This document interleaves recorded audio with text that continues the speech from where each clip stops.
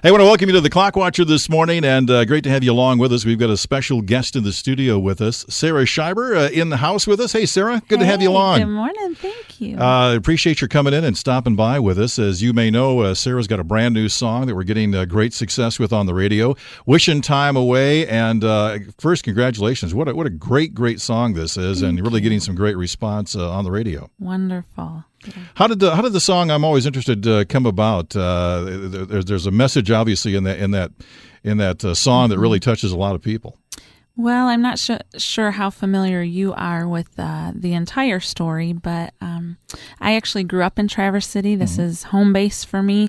I went to school here, graduated from. At that point, there was one one high Just school. one, There yep. was just one, so I graduated from Traverse City and uh, got married and uh, had a wonderful marriage. And I tell people in concert that, you know, 21 months ago, I was living the American dream.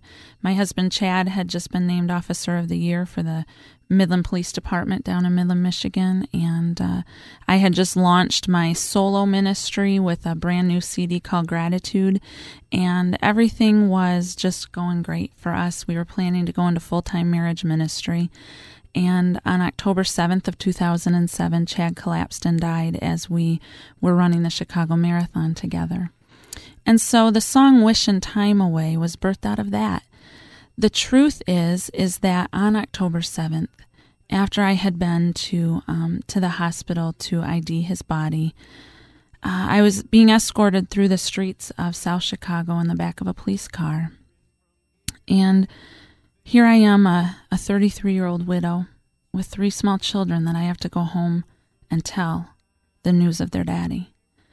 And I remember sitting in the back of that police car thinking, I know time is going to heal our hearts, but right now it feels like the enemy. Mm-hmm. You know, Yeah. in one heartbeat, literally one heartbeat, when Chad went home to be with his Savior, Jesus Christ, time became my enemy. And I had the the knowledge of life of knowing that time is going to heal. It it is.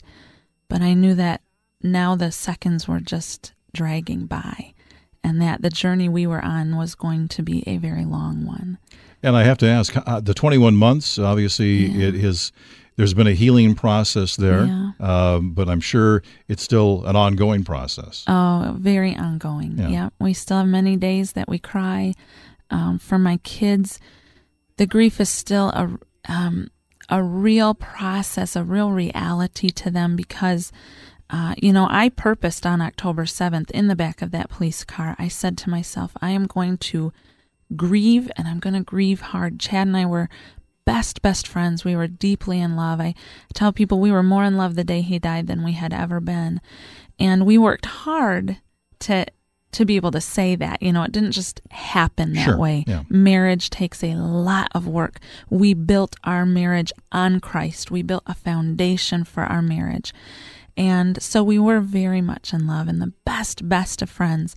And I purposed in that police car, I am going to face every bit of this. I'm going to hit it head on because I knew in order for the kids and I to ever be whole on the other side, that we had to face it all and go through it. Um, but for my kids, that process has been a lot longer. And it took my youngest, he was only six when Chad died, it took him nine months to even begin to grieve.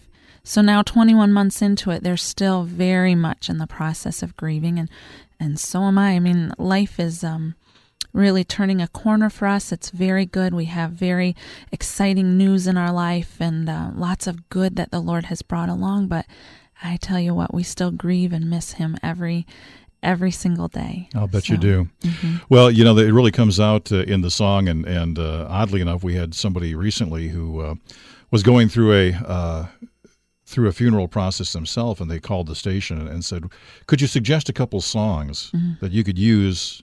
For a service, and I said, "Boy, you know, there- there's one that just came across my desk. It's new. It probably is not familiar to you, but I'm going to send it to you because I want you to listen to it."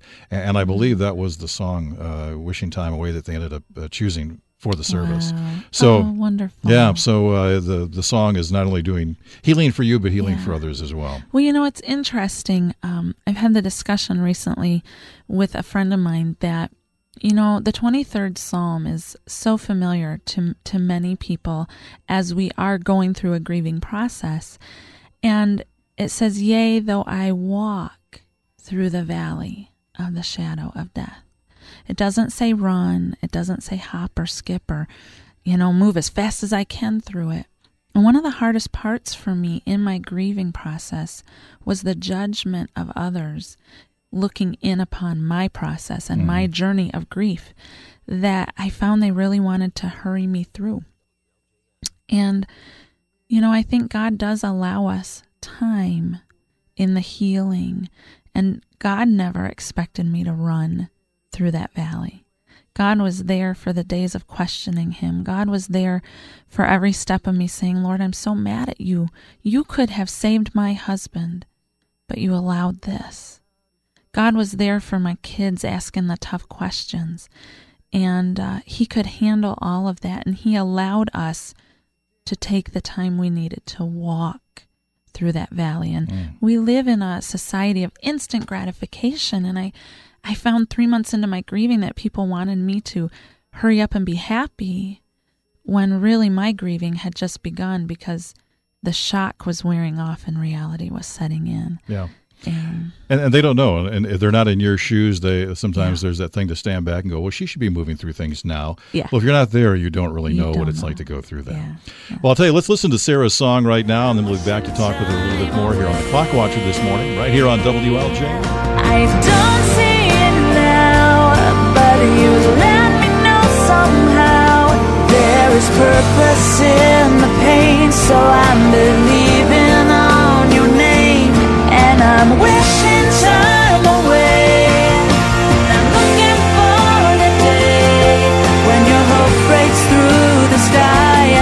me know that it's okay.